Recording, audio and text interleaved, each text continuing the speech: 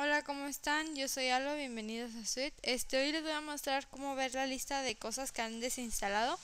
Eh, por ejemplo, si mm, ustedes están buscando una aplicación este, que ya hayan descargado pero no la tienen descargada y no se acuerdan del nombre, pues este les va a servir.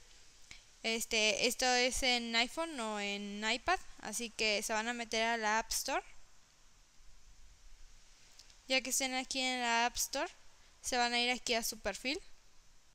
Y de aquí de su perfil se van a ir a compras.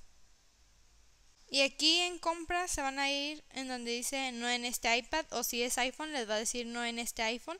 Y aquí les va a aparecer todas las aplicaciones que ustedes han este, descargado y pues después desinstalado. Aquí les van a aparecer todas las aplicaciones.